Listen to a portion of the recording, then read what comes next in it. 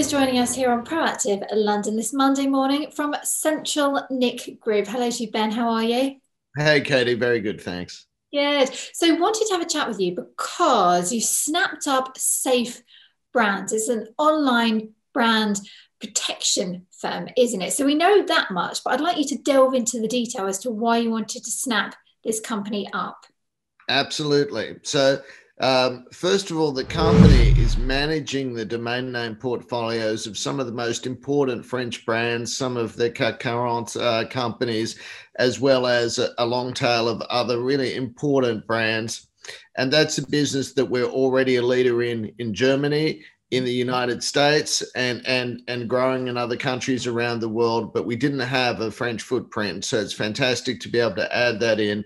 It's really making us the major non-US um, company in that space, the most important one, and um, and obviously it just it, it will bring uh, a lot of capabilities for global companies that have a french office and a german office and a us office to have local people that understand the language and can look after their domains.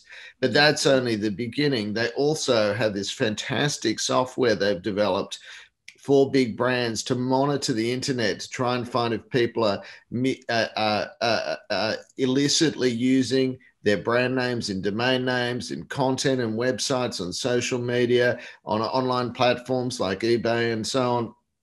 And not only can they detect them, they can then report back to the brand owners about uh, a possible bad activity and they can even help enforce it. So, help get those websites taken down, that content pulled off, uh, report it to law enforcement, get the domain names confiscated from the bad guys and given back to the rightful owners.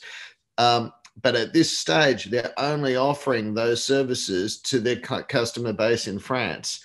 So for us, it's a wonderful opportunity for us to be able to take that software that they've developed and all those capabilities and offer it to customers all over the world. So it's really a case of where one plus one is equals so much more than 2 mm-hmm. So is this the ideal acquisition for you then?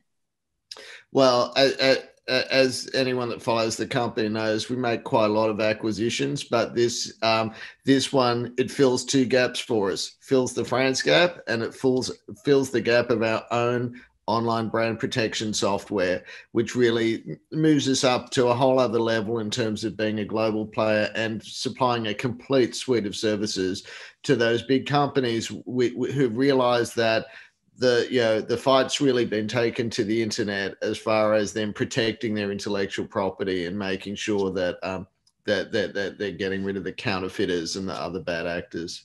Mm-hmm. So, uh, um, and to to be honest, I've been talking to the owners for over five years. So personally, it's a uh, it's very rewarding to now have the company as part of our group all its great people great customers and great technology at last after after such a long uh, such a long courtship yeah five years in the making Indeed. Um, you're going to reap the benefits of that uh, perseverance in terms of the money let's talk about this because it's sure. 3.6 million euros in total so 3 million up front and then the 600 thousand is conditional. Maybe explain this to us if you would. Correct. Just uh, just on the basis of uh, uh, of us being able to finalise what their accounts look like.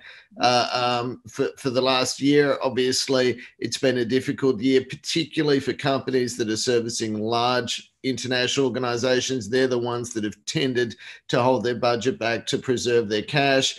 Um, so it's really a, a, matter of that. We're we're confident that we'll be paying the full amount out because that will mean that the company has performed exactly the way that we want.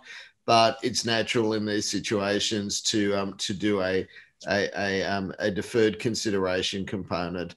And obviously, we're able to come to that agreement with the vendors because they are equally confident that the company will deliver everything that we we hope it will. Mm-hmm. And in terms of acquisitions for 2021, can we expect a lot more to come? Well, look, we've made no no secret of the fact that that that we think um, in our industry the great opportunity is around um, many other high quality businesses that we've been able to identify and acquire. But um, obviously, at this stage, all we can say is um, our, our business plans remain the same as they have been in recent years. And, uh, uh, uh and I think we need to leave it at that, being a listed company. Sounds good. Corper, thank you very much indeed from CentralNic here on Proactive London this Monday morning. Great talking to you, Katie. Thank you.